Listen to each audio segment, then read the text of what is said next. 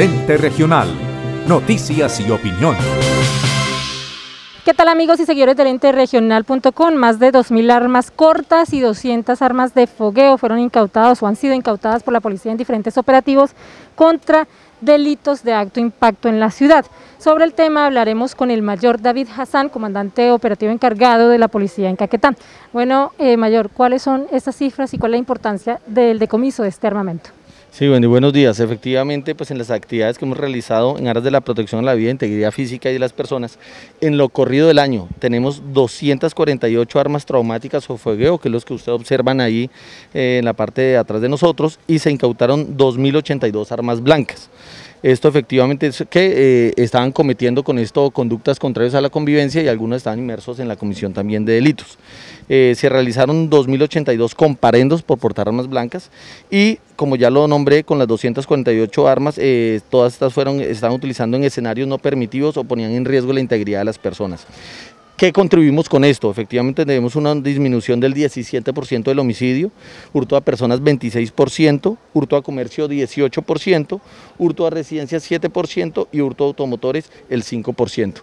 Eh, es, bueno aclarar efectivamente los ciudadanos para que conozcan que eh, la similitud de estas armas es casi el 99% a las armas reales y ya pues el teniente ahorita le daremos paso para que le haga una explicación a ustedes la diferencia entre armas de fogueo, armas traumáticas y la similitud con las armas reales. Precisamente, si bien es legal comprar estas armas de fogueo, el teniente Orlando Cárdenas, supervisor del servicio de la estación de policía en Florencia, nos explicó cuáles son las diferencias entre un arma real y un arma de fogueo. Quiero darles a conocer el día de hoy y permitirles que ustedes conozcan la, la diferencia entre un arma traumática, un arma de verdad y un arma de fogueo. Aquí les voy a dar un ejemplo, tenemos dos armas que la característica principal es que son, tienen el mismo peso, los mecanismos, eh, y funcionamientos son similares a un arma de fuego. Lo único que varía y la característica, diferencial es la munición que cada una aporta. Esta es una munición calibre 9 milímetros que utilizamos diariamente en nuestro servicio de policía. Esta munición es de una pistola traumática. ¿Qué pasa con esta munición? Cuando se acciona un arma, esto inmediatamente la, la goma impacta e inclusive puede generar perforaciones y lesiones contundentes eh, en la integridad de una persona.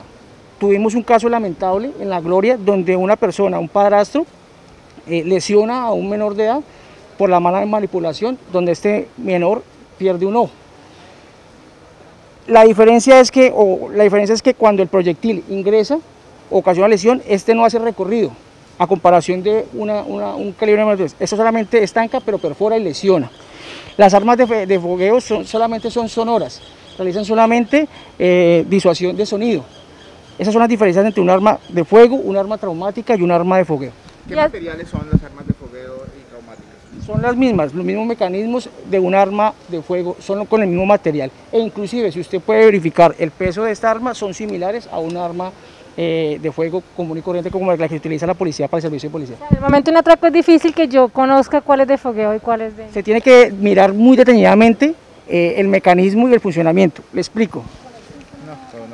esta, esta, es un arma, es un arma de fogueo. La diferencia es el cañón, ¿listo? El cañón, la salida, que es un poquito más pequeño que un arma normal de fuego. Bueno, ¿qué otros resultados operacionales se dieron durante el fin de semana? Sí, efectivamente tenemos los resultados eh, operativos y preventivos del fin de semana. Eh, tuvimos 14 capturas por los delitos de hurto calificado y agravado, tráfico de estupefacientes, porte ilegal de porte de armas de fuego, violencia contra servidor público y uso de documento falso. Dentro del marco del Plan 100 días contra el microtráfico, lo que fue en Florencia, San Vicente y Doncello, se presentaron siete capturas a personas por la comercialización de alucinógenos y se incautó 1.861 gramos de estupefacientes. En la, en la ofensiva para contrarrestar el hurto, en Florencia y Puerto Rico se capturó a un sujeto conocido como Camilo por el delito de hurto calificado y agravado, recurrente en la comisión de este delito en Florencia. Y también se aprendió un adolescente en flagrancia por el hurto de varios elementos al interior de un vehículo. Se recuperaron tres motocicletas y, elementos avaluados en 17 millones de pesos. Es de resaltar que en la vía Florencia-Suaza se capturó a tres personas que se movilizaban en un vehículo transportando un arma de fuego tipo pistola con su respectiva munición. También se impusieron 183 comparendos contrarios a la convivencia y en materia de prevención y educativa se realizaron 72 campañas beneficiando a 1.087 personas y todo con énfasis en los elementos del uso de bioseguridad para evitar la propagación de pandemia. Es bueno aclarar que el fin de semana cerramos siete establecimientos públicos porque no estaban cumpliendo con esta normatividad. Bueno, pues esta es la información que tenemos desde el Comando de Policía en Caquetá con la cámara de Leonardo Díaz, un informe de Wendy Barrios para la Interregional Noticias y Opinión. De Compensación Familiar de Caquetá con FACA entrega su portafolio de servicios en créditos, agencia de viajes y turismo, colegio, biblioteca, subsidio familiar, recreación y deportes, educación informal, programa de salud y nutrición, programas especiales en inclusión social, cultura por el desarrollo infantil integral, centro recreacional La Manigua, tarjeta multiservicios, agencia de empleo, droguería y autoservicio express. Todos estos servicios están encaminados a mejorar la calidad de vida de los afiliados a Confaca.